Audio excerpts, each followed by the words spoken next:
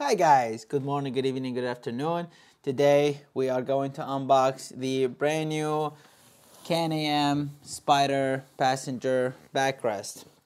Just got this box today um, from Can-Am BRP. We're gonna unbox it. We're gonna show you a full review on it, how to put it on, installation, what's included in the box, all about it. All right, let's get into it. And this knife is not working very well. Let's see. So excited. Been waiting on it for a while now. Seems like there's two boxes in here. Hmm. All right, after an hour trying to get this box out, we finally got the first box out now we're into the second box. All right. Let's get that done. What we got in here? We got the first piece. I'm gonna take it out. That's actual backrest. Here, more foam. That's the actual bracket that gets on the back of the backrest. Get mounted. All right. And that's the box that has the tools, um, the bolts and the stuff. Other than that, nothing else left in here. So, the second box, it had the two mounting sides, the left and right. It's already assembled fully like this. That's the right side, and this is the left side just like that okay? Two of them third thing here you got a actual instructions in here all right? Instructions from Can-Am with some bolts nuts and washers to mount and then uh, there's four uh, plastic C-clips okay? And here we go. The main thing in the whole story is the actual backrest. All right. Um, good materials, soft. All right. Looks pretty cool. Um, it's all wrapped up in plastic here and kind of like leather plastic materials. I think it's pretty good. And obviously the instructions that comes from Can-Am.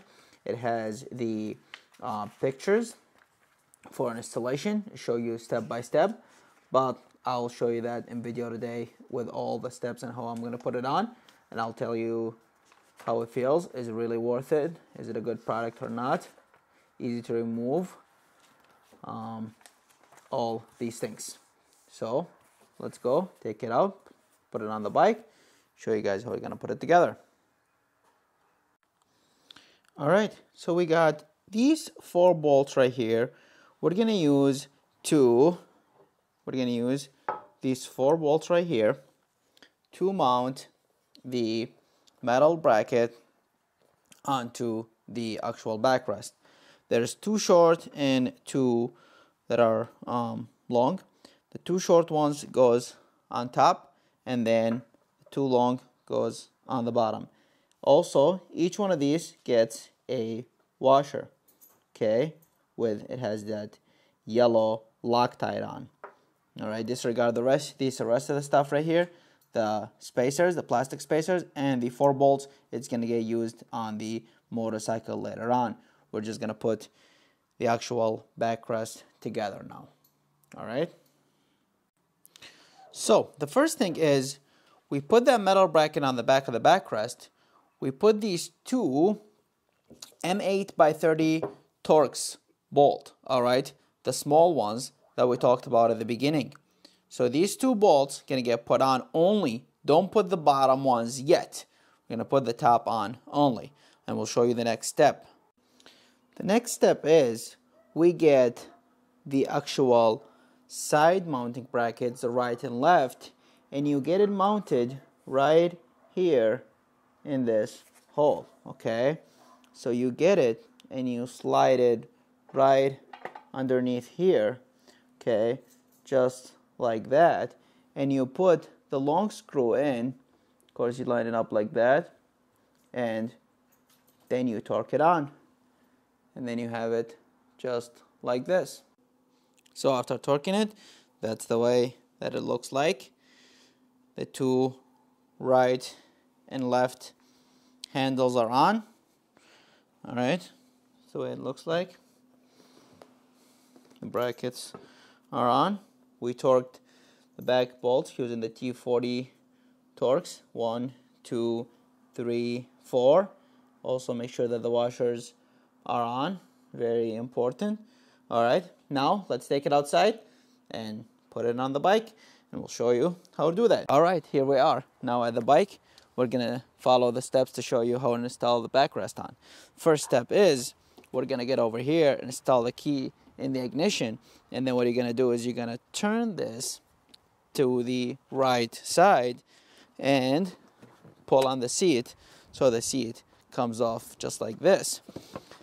What we're gonna do right here there's always that little tether and what we're gonna do is we're gonna take it off all right? So you can get actually rid of the seat. You can either set it aside all right? Now you have it looking like that so the second step is we're gonna get that allen wrench that fits right here and we're gonna loosen up these bolts two on each side two on the right two on the left so we can take handlebars out.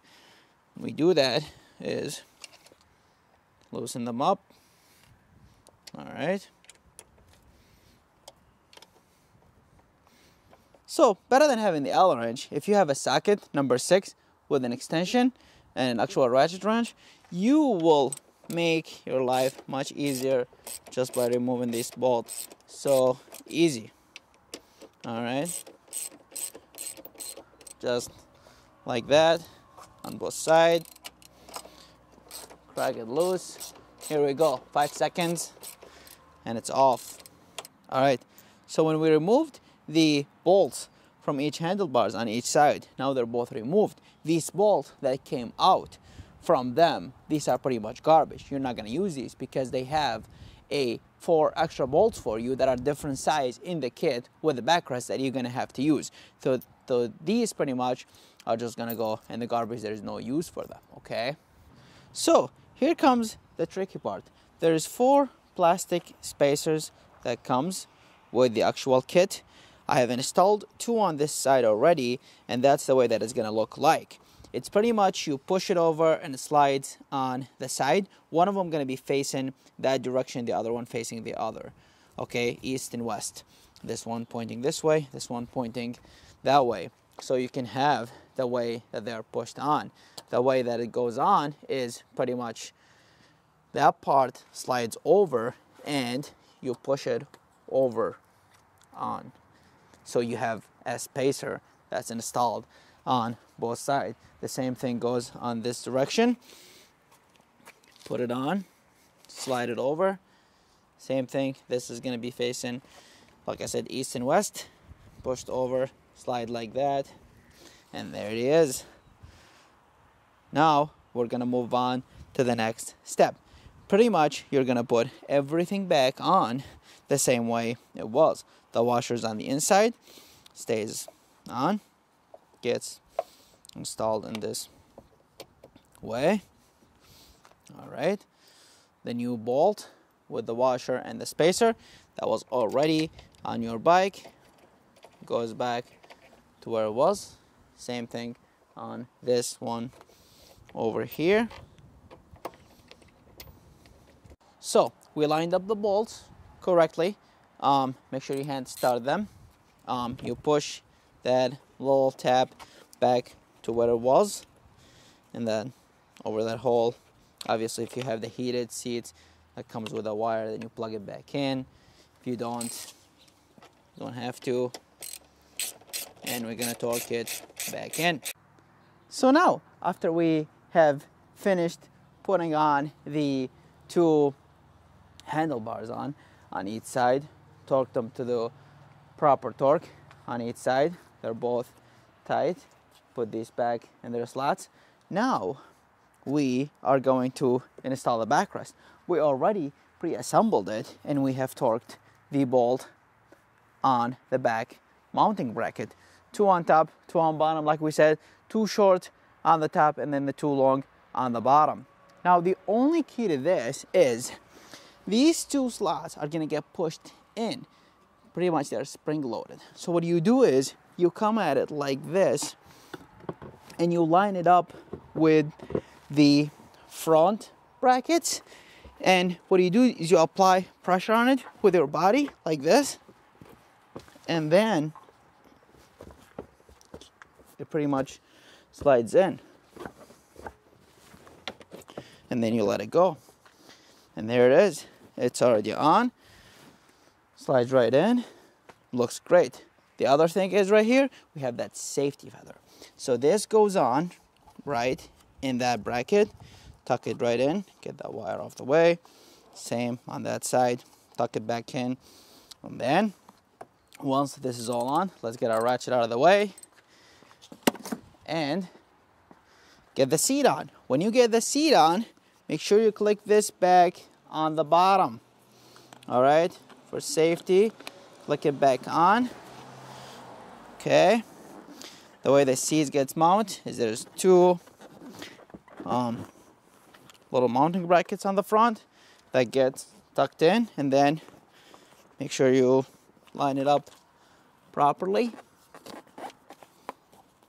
Okay nothing gets in your way. And then you click on it gets right in and here it is. You got it. The backrest the seat is on. Everything is locked in place. Let's test it. Let's sit on it see how it feels. Even though I don't sit on it my girlfriend's gonna test it out. She's filming right now. She's behind the camera. She's gonna sit on it. She's gonna test it. For me pretty much it's comfortable. I think it's very well made of. The materials are great. And you just feel like you're sitting on your couch just like that you know? I think we're all done with this now. Okay if you want to ride solo and you don't need this you do the exact same stuff. What you're gonna do is insert the key in there and then you're gonna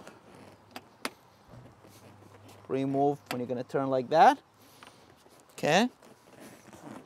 And remove the seat from the spot. Same thing, do the same, same steps. Remove this off, set it to the side. So simple, so easy. Come on the back and you apply pressure on both sides together. And here it is, then removed. All right, just like that. And it's free. You can set it aside, you can set it in your garage and you don't have to put it on. Put your seat back on, you're good to go and here it is full backrest on. All right installed. Looks pretty cool. Slick. I don't think it really affects on the look of the bike. I think it looks pretty well.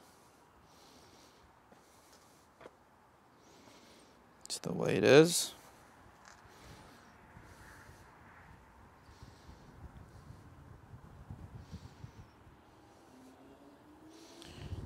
Very nice.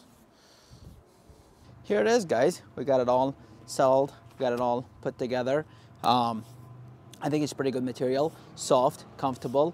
Um, it's not a cheap stuff. Yes, it's probably a lot of money, uh, over $600 for this backrest, but I think it's really worth the money to invest, especially if you have a, uh, a second uprider over here, um, your wife, your girlfriend, your, your friend, whoever you got, your kids that on the back. You want to make sure that they are safe and secured with a backrest better than just um, free that they can you know get shifted back or something like that. So I think this is really um, a good um, safe thing um, to do to buy something like this and invest in a backrest.